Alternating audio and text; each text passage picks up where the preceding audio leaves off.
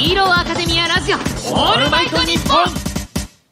はい、というわけでここからはテレビアニメ4期本編についてトークしていきたいと思います。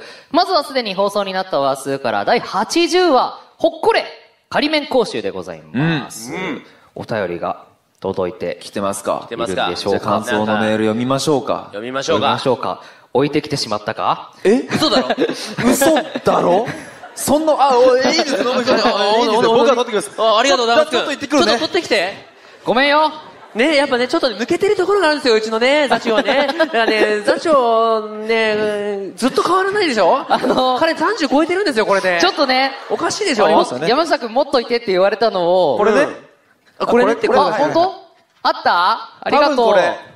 いや多分それだと思う声優業界七不思議ですよ山下大輝君と下野紘さんはありがとう。結構ごめん、本当ありがとう。ほんなかなこれこれ。あこれそれそれ。大正解、ありがとよし。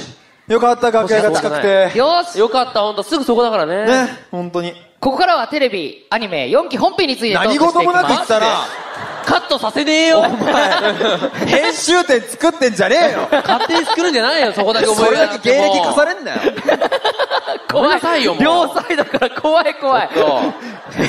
ごめんって。ほぼ自宅みたいなテンションで最初からもう最後までやるつもり？ごめんなさいって。ごめんなさい。じゃあちょっと紹介していきますよ。はい。せっかくいただい聞いたてください。メールですから本当大切に読ませてもらいます。誰誰誰聞いてください。んお米の妖精さんお。米の妖精。曲名ですか？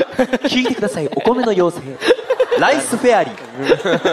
ナイスフェアリーライスフェアリーライスフェアリー聞いてくださいライスフェアリーいてほしいな。読めよ ごめんなさい、ちょっと。お米っていいなって思って。お米っていいなってペ思ってたの？ンペンネーム読むので終わったらラジオは成り立たんだろそうよちょっと読むから。などういうこと？